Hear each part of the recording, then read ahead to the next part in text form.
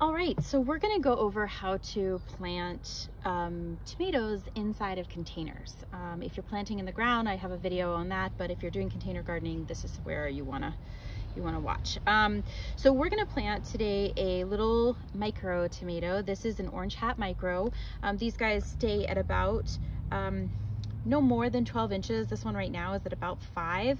It's got lots of blossoms coming on it. Um, these guys are super tiny, compact. They're great for like if you have a kitchen window or maybe only a patio table uh, if you don't have a lot of space or they're a great gift tomato as well. Um, they're bright orange cherry tomatoes. Um, and we're gonna plant this today in a six inch clay pot. Um, now, when you're doing full-size tomatoes, you wanna be planting in about a 14 inch to a 16 inch pot if you can. If you have more space, do it.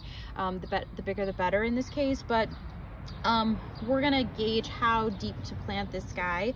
Um, so I usually just set this in here. Okay, it looks like we want the base here to be at the soil level and we want the soil level to be about an inch, half an inch to an inch below the surface of the pot. So you kind of gauge where that is. I need to add about an inch and a half of soil, maybe two in here.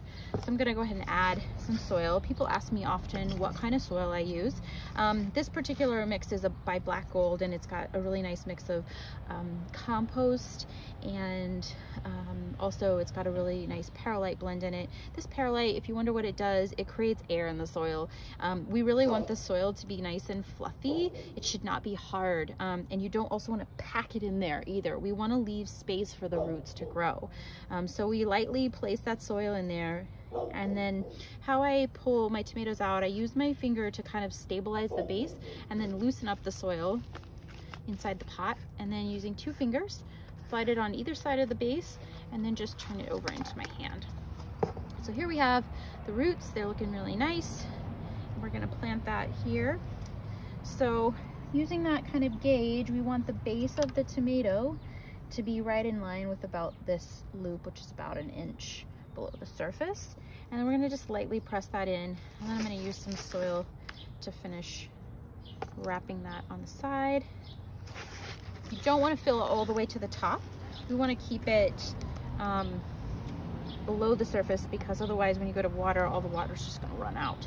So keep this in, lightly, lightly tamp it in, um, leaving a little bit of loose soil on the top because it is going to water in as you place water on it.